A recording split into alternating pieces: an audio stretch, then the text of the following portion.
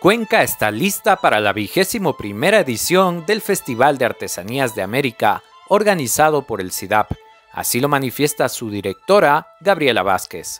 No es únicamente una feria, sino que podemos encontrar patrimonio vivo en donde tenemos muchísimas presentaciones de danza tradicional, de danza contemporánea, conversatorios con artesanos, vamos a ver demostraciones, em, teatro también muy importante y todo esto se complementa con una rueda de negocios internacional que nos eh, apoya siempre bueno, el MIPRO y que también es trabajada directamente por el equipo del ICIDAP para que artesanos y artesanas puedan recibir pedidos para todo el año.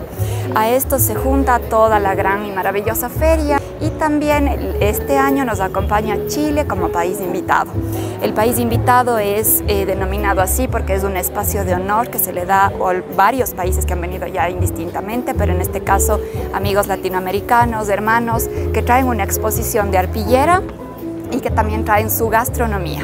Todo dentro de la casona del CIDAP y también de los jardines del CIDAP. Y todo está volcado hacia la temática de la biodiversidad de América Latina en este año. La ambientación este año es maravillosa, está a cargo de Río Park, de este artista eh, ecuatoriano que ha vivido muchísimos años fuera del país y que justamente acaba de volver a Cuenca.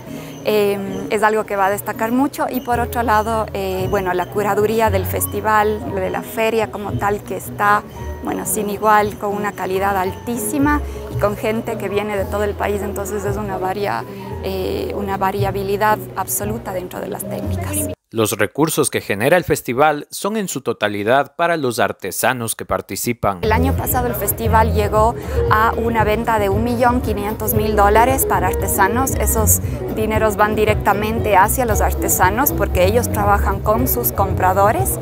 Em, y algo que es muy, muy importante mencionar es que el artesano, la artesana que viene al festival del CIDAP no paga ni un dólar, todo es gratuito.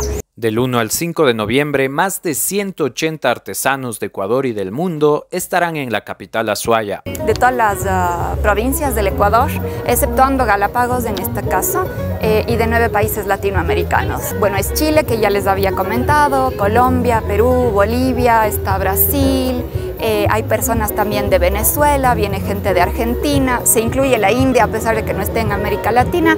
Entonces son varios países que presentan justamente su artesanía a través de sus grandes maestros que están viniendo o de otros artesanos que si bien no tienen todavía alguna, eh, alguna mención, pero sí tienen reconocimiento del SIDAP. Una invitación muy cordial con todo el corazón para que las personas de todo el Ecuador nos visiten del 1 al 5 de noviembre en la calle Paseo 3 de noviembre y la avenida 12 de abril, entre el puente Vivas Nos Queremos y el Septenario, en donde va a estar eh, emplazado el Festival de Artesanías de América 21 edición del CIDAP.